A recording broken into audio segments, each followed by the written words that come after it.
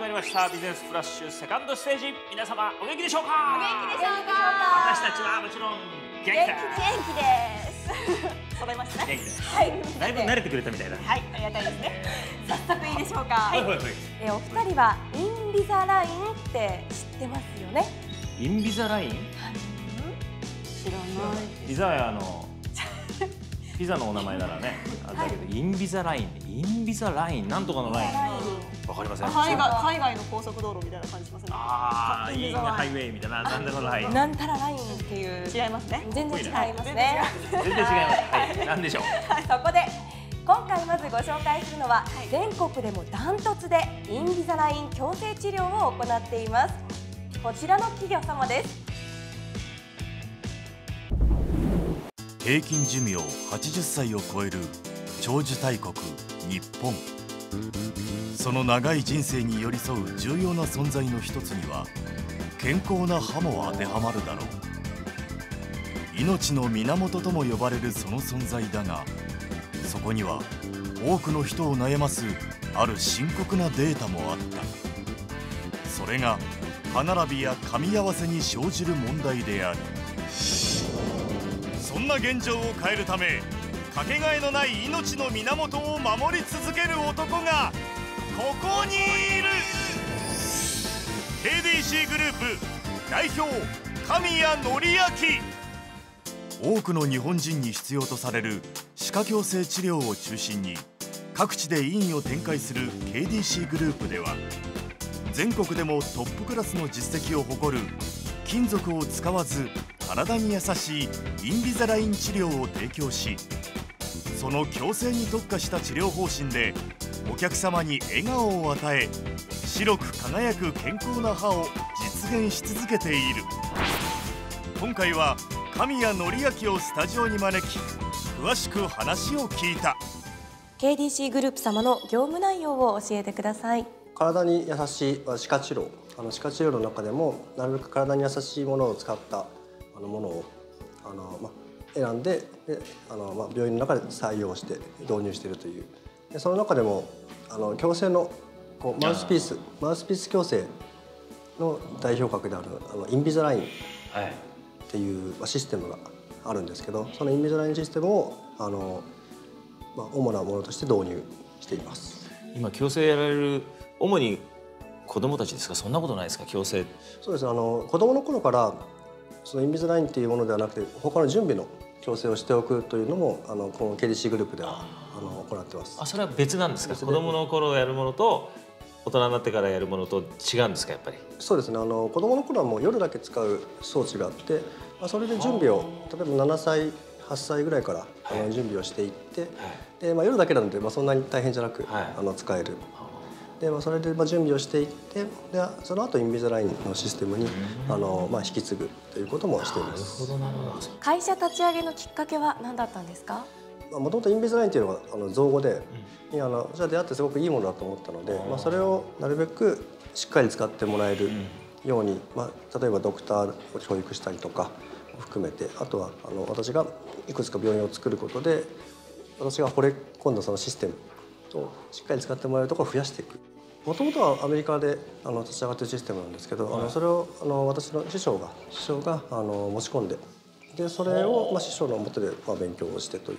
先生先言われほど言われた体に優しいとかそういう材料なんですか？あの金属も使ってないので、まあ、金属アレルギーの方でも使えるという。なるほど。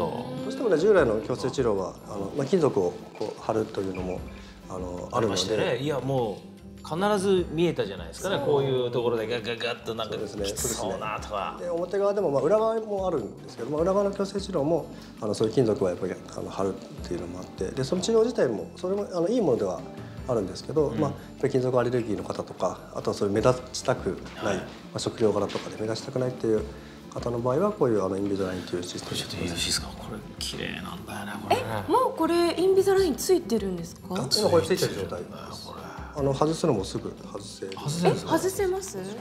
これ僕がいじるといつもなんか壊れちゃうんで。すこれこれまあちょっと裏から外すとかがあるんですよ。こう外してもらってすぐ。これでなる本当？マウスピースみたいな。まああのそうですね。マウスピース。厚みは0.5から0.7ミリぐらいの厚み。へえこれはもうその本人のあもちろん歯型ですよそうですね。ね全部に合わせて。で合わせて。あの、まあ、最初の状態からあの、まあ、最後のこういう綺麗な状態まで。例えば50個だったら50個60個だったら60セットこう全部作ってその装置を一生懸命使ってもらうそんなにあれですもんね。硬いって感じじゃないですもん。全然もうスムーズにポンと入る。そうですね。そうですあれで。まこれ寝る時にするんですか？あ、あの一日中ですね。夜も含めてあの食事の時だけ？食事と歯を磨く時だけ外す。外すっそうそうですか。1日のうちの20時間以上。20時間以上は使っていただく、まあ、従来はねあのこう貼り付けて24時間なので。ああそうか。どのぐらいの期間で矯正できるんですか？矯正の期間自体は大体1年半から2年半ぐらい。あの、まあ、例えば歯の生え変わりがまだ進んでるうちだとその状況に合わせていく必要があるので例えば小学校1年生か2年生ぐらいから始めてで1年半から2年。で1回休憩挟んで。でそれからあの、まあ、もう1回スタートするという。休憩しないと疲れちゃうのでお子さんの場合はと。大人の方もこのインビズラインというシステムあのこれシミュレーションをきちんとお作りするので、あの歯を歯型を取ってで歯型を取った結果のあの、まあ、こういうふうに歯が動いていきますよというシミュレーションをパソコンでお作りしてお見せできるのであのそれでまあ1年半とか2年とかあのある程度ご提示できる。新たな歯科矯正として注目を集めるインビザライン治療神谷自身もこの治療法に出会うあるきっかけがあった。あの私も矯正治療をしていて最初あの金具をつけてあの大学生時代にはしていたんですけどあの大学卒業して私大学は九州なんですけど九州歯科大学という大学でで九州卒業してで東京に出てきてで研修医をしてたんですけど、まあ、その時に、まあ、この針金外したいなと、なるべく早く外したいなと思って調べてでそういうこう、まあ、目立たないものがあるっていうのを知ってであの、まあ、勉強に行こうと思って、まあ、最初まだ勉強とあとその外してもらいたい。あ、これ自分で体験してよかったので、まあ、これをあのもっと勉強しようと思って。あの他の医院さんとの違いというのはありますか？そうですね。あの今一番、まあ、大事にしているのがあのお口はお口が命お口は命の入り口心の出口という言葉を結構大事にしていてはい。はいはいあのお口ってこうご飯を食べるだったりとか、まあ、呼吸するのも全部お口からですしいそれで命の入り口。そうですね。であとはあの思ったことをこあの言葉を発するので、まあ、心の出口。例えばあの歯が汚れてて少しあの口臭匂いがあったりするとあの、まあ、コミュニケーションの中であの良くないことがあったりとか、はいはい。まあ、そういうのを含めるとそういう心の出口というのも含めだからまあその言葉を大事にしていって、虫歯の治療をなるべく体に優しい治療はしていきたいんですけど、まあ、まず歯並びを整えるっていうことをあのなるべく敷居を低くというかそのためにインベーザラインのシステムを導入してというのが、まあ、あるある意味強みというか。でそこであの結構早くからあの実績を積んでいたので、あのまあ、日本でもトップクラスの実績をそのインベーザラインとシステムに関して、あの何回もそういう症例なそうですね。件数があるんですよね。そうですねどんどんこう普及されたいという思いはありますよね、あでもそうですね。あのなるべく自分がいいと思ったシステムを、まあ、多くの方にもしてもらいたいんですけどあのまともに使ってもらいたいというかこうしっかりとあの正確に使ってもらいたい、まあ、東京だと結構1年2年前ぐらいからかなり、あの問い合わせとかが増えてそうでで今埼玉でもあとはその九州でも、あのまあ、かなり増えてきてるので、まあ、調べる方も調べてで例えばまあ見えない矯正とか、あのそういうので調べると割とそのインビザラインっていうのがあの、まあ、代表格にもなってきてる。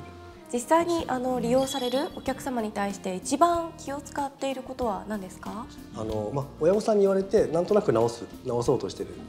あのお子さんの場合、まあ、ご自身でこの前歯が気になるとか,、まあ、なんかあればいいんですけど、そういうわけではない場合に、まあ、なんとかこうモチベーションを上げるためにあの歯並びきれいにした方が歯も磨きやすいし虫歯にもなりにくいとかかっこよくなれるよとかなんかこういろいろとお話をして。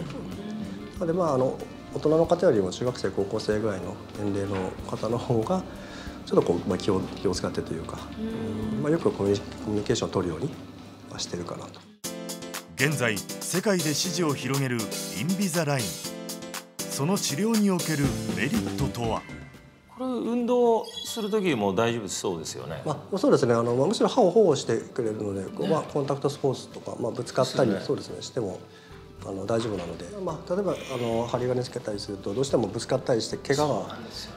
なので逆にこちらはもう歯を守ってくれるので、まあ、そうそういう視点で見るとあのこちらの方が向いてるっていう場合も多いです。なのでまあインベザラインを使うっていうメリットはもう一番は見えないと思います。であとはその体にも安心。神谷先生はインビザラインの普及にも大変力を入れているそうですね。そうですね。あの私もそのインベザラインというシステム自体を、まあ、そのシステムをこう教えていただいた、まあ、師匠がいるので、まあ、そこから教えていただいたことをあの、まあ、いろんな先生方に普及することで、まあ、そういうインベザラインといういいシステムをこうできる病院だったりとか、できる歯医者がたくさんいることであの患者さんにもすごくあの、まあ、メリットというかあの、まあ、いいものを触れる機会ができるという。まあ、大学が九州なので九州の後輩たちでインベザラインってどういうものかっていうのは結構聞かれるのでで、まあ、いちいち答えてるのもあの、まあ、一個一個答えるというよりはもうちゃんと体系だって答えてあげた方がいいと思って、まあ、そのスライドを作ってであのもうプチ勉強会というかそういう勉強会をしていると。では今後の展開について教えてください。そうですね。そのインビザラインっていうシステムをあのしっかりとあの使いこなした病院っていうのを増やしていきたいというのがあるのであの、はい。まあ、アジアベトナムにもう一つ病院を立ち上げようかというのあのベトナムだって、まあ、あのカンボジアにも、まあ、視察というか、はい。行ったことはあるんですけどあの、まあ、ある時こう週末にこう歯医者の屋台はい。で歯抜きますよって言ってカランカランって言ってこう、まあ、悪い歯を抜くっていう。でしっかりとしたねあの歯科治療されてる病院ももちろんあるんですけど、まあ、そういう屋台もまだあの現存するというかインビズラインをこう勉強あのしていく、まあ、過程で知り合った先生であの、まあ、ベトナムでそういうこう歯科医療ベトナムの歯科医療の質を上げたいとこう希望されてる先生がいらっしゃってじゃああの協力しますということを、まあ、そのベトナムではしようかという。生涯のパートナーである私たちの歯を誰よりも考え守り続ける神谷紀明。そんな男が胸に刻む座右の銘とは？そうですね。あのお口は命の入り口心の出口というのをもうあの座右の銘として日々診療してます。お口が良くなれば心も温かくなるっていうね、素晴らしいお話ありがとうございました。ありがとうございました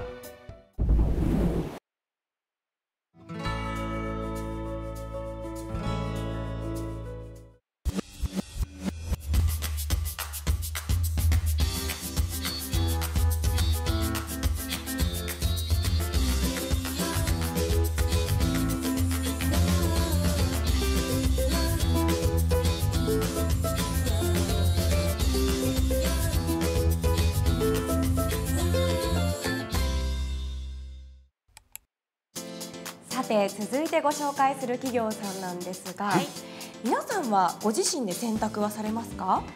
洗濯は今はしないですね。やってくださる方が。はい。羨ましいです。そういうふり？コインランドリーは利用されたことあります？お二人。有馬さんです僕。まあどういう機会に？僕はあのねスポーツやってる時に、みんなのこの合宿の先輩の洗い物だとかなんかをそれとかチームでユニフォームを近くのコインランドリーでバッと洗濯してで乾かしてっていうのをやってましたけど非常に便利な乾かすところまでできるもんね。ありがたいやってくれるもん。な、あやのちゃんはどうですか？はないんですよね。うん。近くにもあるのかなっていう感じで気になりますが。はい。はいそこで次にご紹介するのは1台の洗濯機からフランチャイズ展開まで築き上げたこちらの企業様です。テレビ冷蔵庫洗濯機。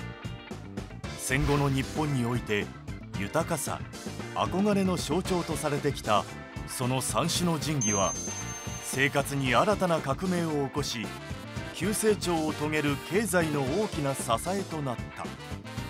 そして時は経ちその三種の神器の一つである洗濯機に新たな革命が起きている。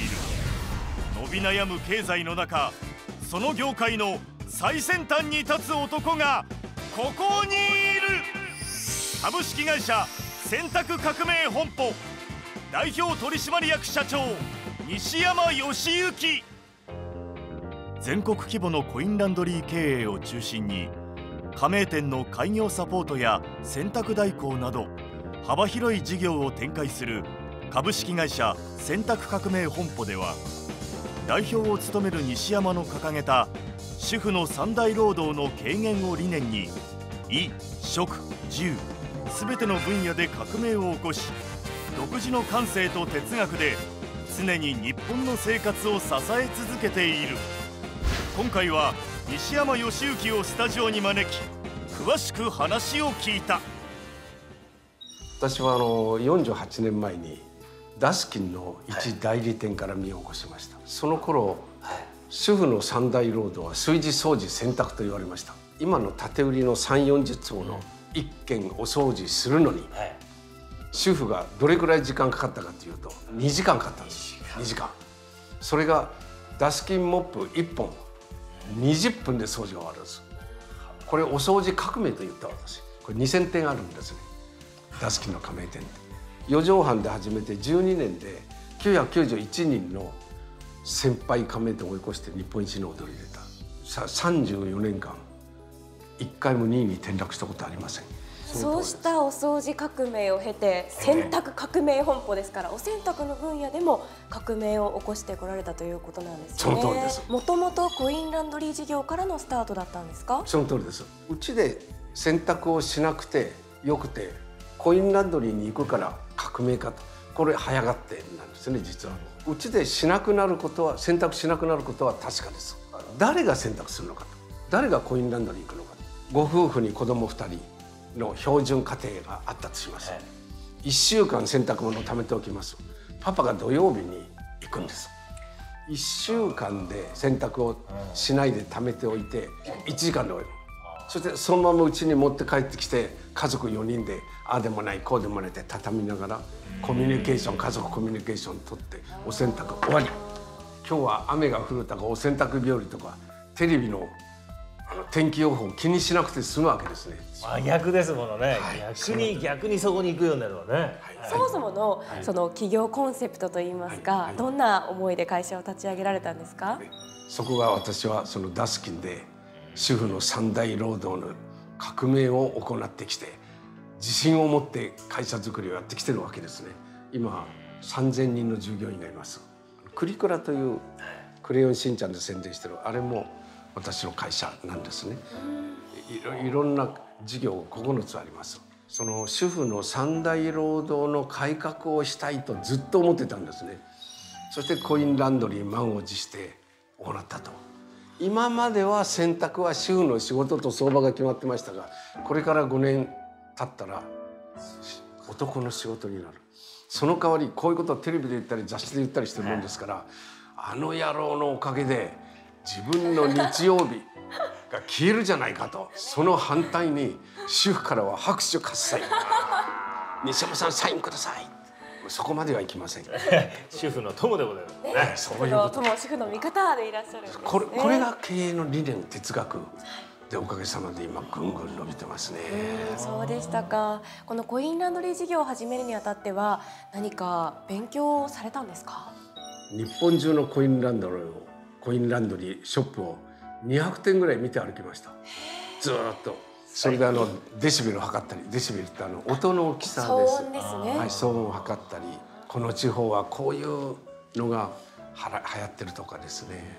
今日本は使っている主婦層が中心なんですが世帯数の5%しか普及しておりません。普及使っておりませんコインランドリー。コインランドリーを、はいあはい、100件一世帯があったら5件しか使っておりません、アメリカは20件使ってます。だから5%と20%ここに伸びしろが15%ある。1万8,000点のうち8割が潰れる。ということはその1万8,000点で今5%のシェアですよね。このうち4%がのお客様行ってるところが潰れるとその4%のお客様はこっち来てくれるというと伸びしろ15%と4%で19%向こう56年の間に伸びると。実際に開業されてみてご苦労などはあったんでしょうか？無人店舗ですから、まあ、実際には1時間2時間お掃除とか集金のパートさんがいるんですが無人店舗であるがゆえの苦労というものはあります。例えばあの200円と書いてあったら200円をここにポッと入れちゃうんですよ。と上の機械のコイン投入口に入れたら下がブンブン回り出すんですね。そそこしいですよこの人。はいはいはいはいはい。き 二段重ねてあるから。なるほどなるほど。投入口がこことここにくっついてるからことこっちにすればいいのにね。自分が悪いわけじゃないですか、はいはいだけどコールセンターにか「どうしてくれんだよ」っつって文句が来るんですね。とお客様が悪いんでございましょうと言えないのでそうですね。申し訳ありません。と両替機の前に立ってください。10秒後に200円お戻ししますとチャリンチャリンそんなこと言ってる間に出てくる。はあじゃあ人がいなくてもそれが可能になるんですね、ですのでそこがもし友人店舗だったら、はい。もういちいち電話しなくてもねそこにいるはい。お掃除のおばさんとかに間違っちゃったんだよっていうと思うんですがコインランドリーをこう開業する上で成功する秘訣ってあるんですか？ロケーションですね。場所。場所ですねやっぱり。一例えば国道の甲州街道とか16号線のような、ああいうところは視認性は高いんですが、実は利用客が主婦があんまり通らない道です大型トラックみたいな。こういうとこはダメですね。でそれよりも一本ぐらいの生活道路罰道路。こういうところが一番いいです。こうやって駐車場がちょっとある。やっぱりあの女の人はバックが下手と昔から言われてるので、難しくこうバックで入れるなんていうところはダメですね。諦めちゃいますね。はい、その通りなんです。またあの洗濯革命本舗さんが他社と差別化を図っている部分はありますか？いろいろあります。うん全部って感じするけどね、例えば清潔というのはもうろ、もう一番の問題ですよね。どんなに設備が良くても高級に作ってもやっぱりちょっとお掃除もろくに行き届いてないようなこれは一番気を使うとこなんですが無人店舗なのでここが困ります。でそこをどうするかというのでその業者を頼むんですよ。巡巡回の業者を、それお金はかかります。かかりますが他社との圧倒的な差別化です。綺麗だっていう清潔だってい。うことなんですね、それからですね主婦の来ない時間帯というのがあります、午前中とか割と忙しいので掃除だとか。ね。その時間は割引をするんですよ半値ですよとこの2時間。例えへば10時から12時11時から1時までとか。え。もうなんか朝はご飯作ったりはい。送り迎えしたり忙しいからなおさら旦那さんにやってほしい。ああ旦那さんね。あの事業のフランチャイズ化も進めていらっしゃるそうですね。はい、この後がまだあるんです。コインランドリーの次。もう準備があるんですか？あります。アイディアがもうあるんですか？旦那様も洗濯しなくてよくなる。んでも汚れ物は天候に関わらずずっと人類生活する限り汚れ物は出ます、はい。こそのお洗濯を代行する仕事洗濯代行サービス取りに来てくださる？はい。ご要望があればお店にもちろん持ち込んでもいいくれてもいいんですよ。ある一定の大きさの袋を作ってでそこにぎゅうぎゅう満帆に詰めていい。ただしノーアイロンのものに限ります。洗濯屋じゃないのでアイロンはかけないワイシャツとかねそういうことじゃなくて、はい。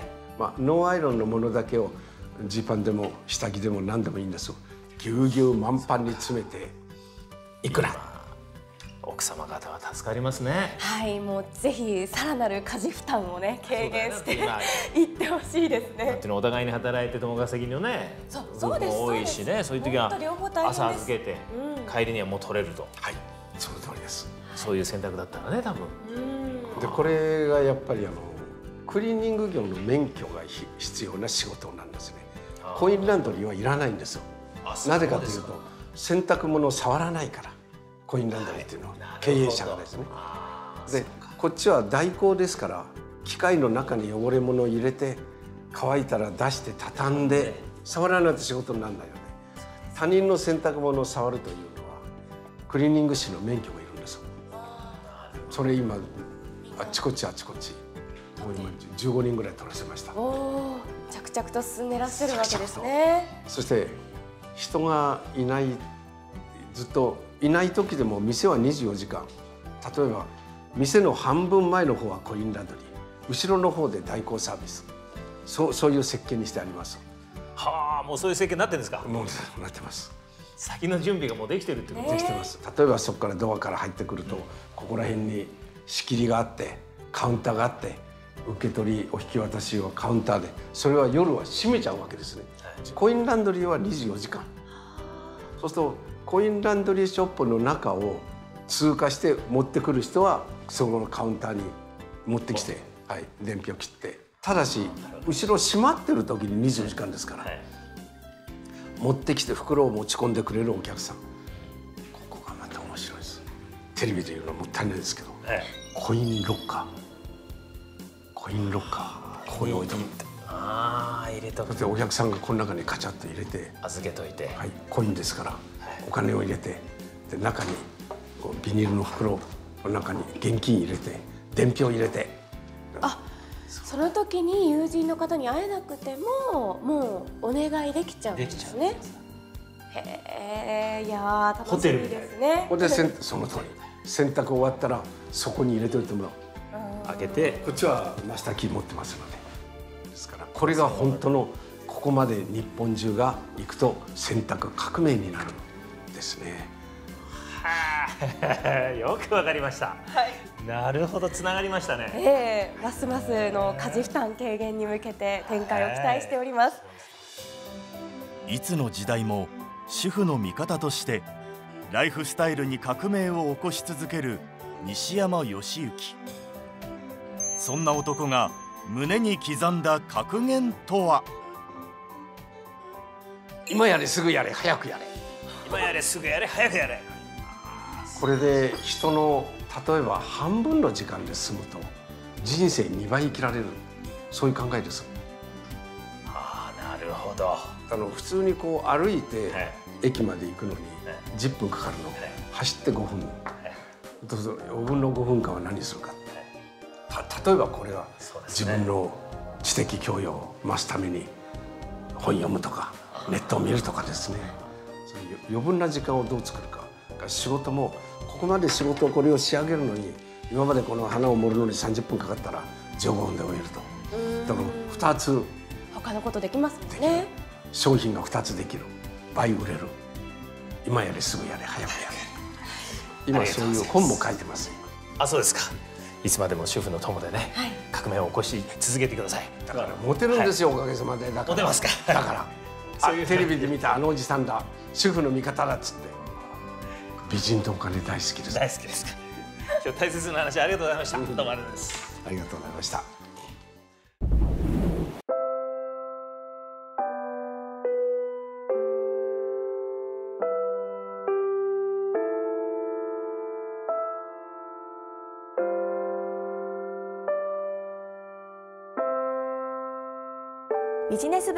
コレクション。世間ではベンチャー企業やアントレプレナーなどという言葉がもてはやされにわかに景気回復へ向かうと思われましたがわずか1年で IT バブルは崩壊。私の勤める会社も例外ではなくその煽りを受け経営の危機に直面しました。今回のビジネスブックコレクションおすすめの本はこちら。派遣型技術者という選択エンジニアの新しい働き方。この本を書いたのは技術者派遣事業株式会社 VSN 代表取締役社長の川崎健一郎さん。職務上お客様やエンジニアの方たちと日々接する機会の多い川崎さんがその経験からこれからの不透明な時代を生き抜くプロのエンジニアのあるべき姿を書き記した一冊です。それでは今回のビジネスブックコレクションはここまで。また来週。